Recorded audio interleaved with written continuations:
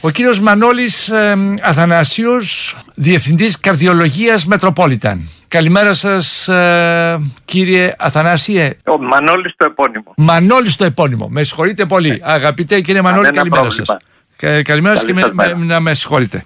Λοιπόν, θα ήθελα να μιλήσουμε για την διάγνωση και, τα, και την θεραπεία της υπέρτασης είναι, ένα, είναι μία, από ό,τι αντιλαμβάνομαι, μία έτσι, βλάβη στον οργανισμό ε, τον, της σύγχρονης εποχής και των κοινωνιών μας. Ε, φαντάζομαι και των μεγαλοπόλεων. Τι λέτε, τι λέει η επιστήμη. Σίγουρα και αυτόν που είναι τώρα στην, ε, στο ποτάμι, σίγουρα όλοι έχουν αυξημένη αρτηριακή πίεση. Μάλιστα. Με το μπλοκάρισμα αυτό που έχει γίνει. Ναι. Και συνήθως αρχίζουμε με κάτι χαπάκια. Αλλά πάμε να δούμε πρώτα απ' όλα mm. πώς καταλαβαίνουμε την υπέρταση, πώς την αντιλαμβανόμαστε. Ορίστε, παρακαλώ.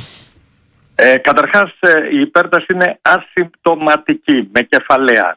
Δεν έχει καμία σχέση με κεφαλαλγία, δεν έχει καμία σχέση με ζάλι, δεν έχει καμία σχέση με ρινοραγίες. Απλώς τα άτομα που νιώθουν όλα αυτά τα συμπτώματα τα συνδέουν με την πίεση, τρέχουν να βρουν ένα πιεσόμετρο, μετράνε την αρτηριακή πίεση και 100% η αρτηριακή πίεση θα είναι αυξημένη.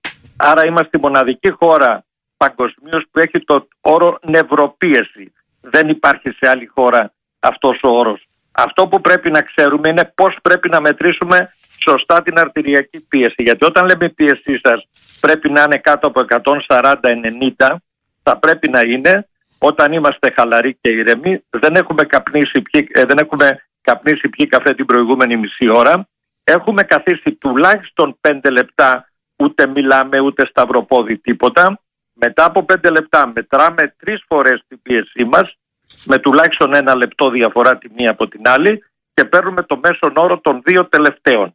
Αν εγώ σας πω ότι το αυτοκίνητό σας δουλεύει στις χίλιες στροφές και εσείς πατάτε γκάζι και δουλεύει στις δύο και το πάτε για επισκευή, φταίτε εσείς διότι ο άλλος σας έχει δώσει τις οδηγίες και εμείς τις οδηγίες που έχουμε δώσει για να μετράμε την πίεση και πρέπει να είναι κάτω από 140-90 είναι αυτό.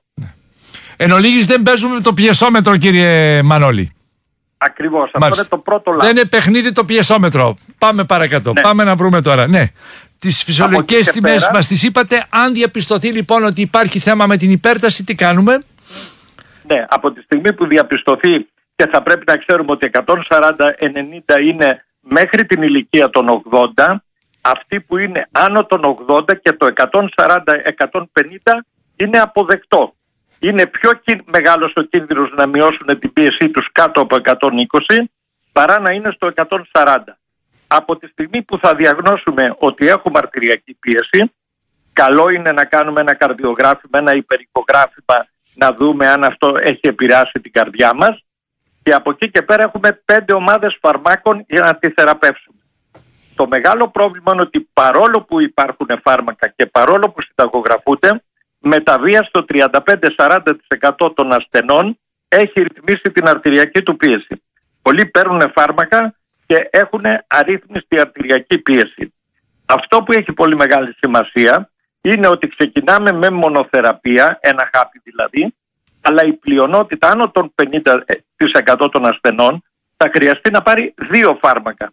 Άρα θα πρέπει να επικοινωνήσει εφόσον δεν ρυθμιστεί με τον γιατρό του για να πάρει το δεύτερο φάρμακο τα πολύ ηλικιωμένα άτομα άνω των 80 θα πρέπει να ξεκινάνε με μικρές δόσεις μονοθεραπείας, να αυξάνουν σταδιακά και πάντα να μετράνε την πίεσή τους όχι μόνο καθιστή και όχι, γιατί ένα μεγάλο ποσοστό ασθενών κάνει ορθοστατική υπόταση και μπορεί να πέσει και να δημιουργήσει πρόβλημα. Πολύ ωραία. Σας ευχαριστώ πάρα πολύ κύριε Μανώλη. Χάρηκα πολύ. Και εγώ σας ευχαριστώ. Καλή σας μέρα. Διευθυντής Καρδιολογίας στο νοσοκομείο Μετροπόλιταν, ο κύριος Αθανάσιος Μανώλης.